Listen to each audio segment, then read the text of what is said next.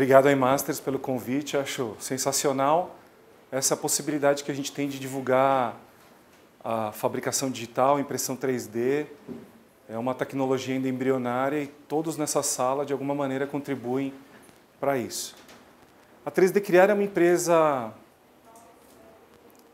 é uma empresa que especializada em fabricação digital. A gente distribui equipamentos de fabricação digital, como impressão 3D, corte a laser, fresadora CNC, fresadora de precisão e plotadoras. Nós produzimos objetos educacionais com a fabricação digital. Esse é o nosso projeto na USP. Nós somos uma empresa incubada na, no CIETEC e a gente desenvolve objeto educacional com a fabricação digital. Então a gente ensina química, física, geometria e outras matérias com a prototipagem. Nós implementamos espaços Maker e Fab Labs e também prestamos serviços de prototipagem e desenvolvimento de produtos. Hoje a gente falou aqui bastante sobre educação é, e a gente acredita que realmente né, a gente fala muito de como fomentar a impressão 3D, de como essa tecnologia pode ser mais popular e a gente procura atuar na educação desde a base, ou seja, do ensino básico, dos alunos do Fundamental 2, do ensino médio, até universidades, escolas técnicas. Então a nossa pegada está ligada à aprendizagem criativa. Né? É uma aprendizagem que transforma, que habilita os estudantes a criar, a materializar ideias, engaja professores e estudantes, principalmente com projetos que têm relevância e não. É, é, enfim, e não projetos que não têm a ver com, com aprendizado. A metodologia da 3D Criar está muito ligada em desafio e diversão. A gente sempre trabalha com soluções para o cotidiano, né? E para e conduzir a nossa metodologia, a gente trabalha sempre com projetos, a gente trabalha com parcerias, sempre a quatro mãos, com as escolas. A gente entende que quem está aqui, assim como nós, são apaixonados pela fabricação digital, por impressão 3D. E tem que ser um elemento de desafio e diversão, pensando e brincando para possibilitar o aprendizado efetivo. Né? A gente tem vários desafios, todos nós que trabalhamos com educação sabemos o quanto é difícil engajar os professores, trabalhar com um conteúdo customizado. A gente entende que os currículos em geral das escolas têm que ser otimizados, trabalhados pensando numa dinâmica é, é, mais é, divertida, que engaje os estudantes e, ao mesmo tempo, eles absorvam todo o conteúdo da, da, da escola. A gente vê que, com a fabricação digital, com os laboratórios, com eletrônica, com robótica, os alunos eles se engajam, eles trabalham em grupo, trabalham em equipe. Né? Eles se tornam empreendedores porque eles sabem criar porque eles têm confiança, eles desenvolvem, né? eles usam o design, o pensamento do design thinking, desenvolvem projetos e assim eles materializam as ideias deles. Onde entra então a prototipagem e a impressão 3D nesse universo? O que, que a gente faz? Nós produzimos experiências. Essas experiências elas envolvem a modelagem, então a gente usa o Fusion da Autodesk para as modelagens, né? é um software é, que para educação, para professores, alunos, makers e startups é free, é um super software com muito recurso. Então a gente gosta de usar o Fusion. A gente trabalha com três níveis de prototipagem. A prototipagem livre, que é a fabricação digital, né, impressão, corte a laser.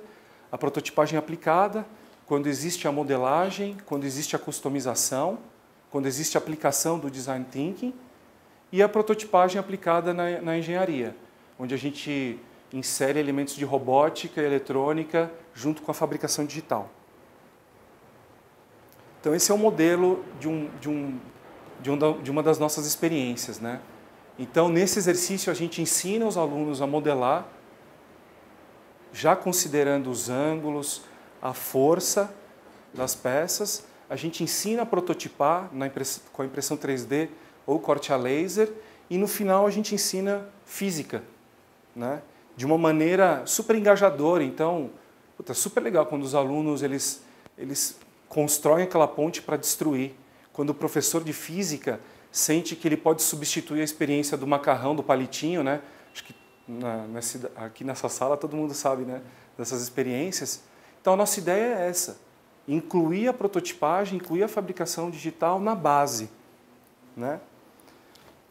Então a gente fala da experiência, a gente ensina as forças, todas as forças em cada treliça, a gente calcula os ângulos, a gente ensina a prototipagem, como montar a peça, né? E materializar a ideia. Assim, eu já, a gente tem conversado muito no movimento maker como essas experiências elas podem ser, na verdade, é, elementos que multiplicam o conhecimento.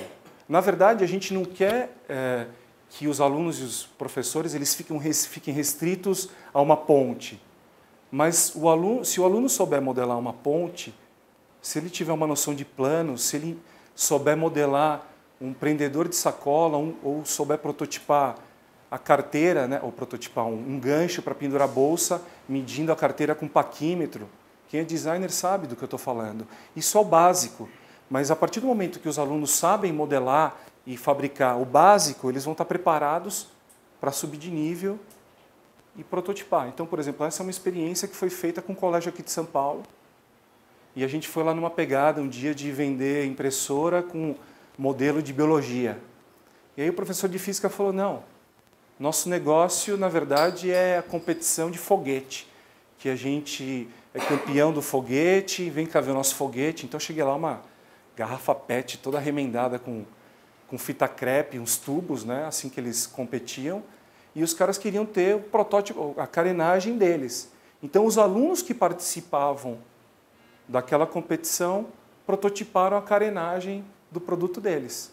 Olha que interessante. Desafiador, engajador, com um resultado bacana, estético, tudo bem que ficou super pesado e não voava, mas mas é um detalhe.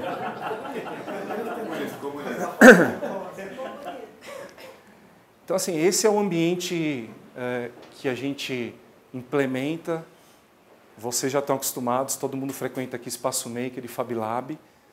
Então, a gente trabalha com impressora 3D, fresadoras e corte, a laser. Robótica, a gente tem parceiros que desenvolvem né, todo o conteúdo e os kits. E a gente enxerga que as, os benefícios, as vantagens de um espaço maker dentro da educação são inúmeros. Né? Além do hype, além do marketing, a gente acredita que é possível contribuir para a melhoria da, da qualidade da educação. Né? Para, as instituições, para as instituições de ensino, obviamente que o, o, o reter a matrícula, o atrair novas, novos estudantes é muito importante. Mas quando as escolas conseguem desenvolver projetos, aí sim, realmente, elas estão contribuindo para a formação dos alunos, para a formação de competências, né, que é o que interessa para nós. Que cada aluno, cada professor seja capaz de produzir qualquer coisa com seus recursos, com seus próprios recursos. Esse é o nosso objetivo, né? formar empreendedores, formar líderes ou pessoas que saibam trabalhar em equipe e preparar os estudantes para a profissão do futuro. Essa é a nossa missão. Obrigado, gente.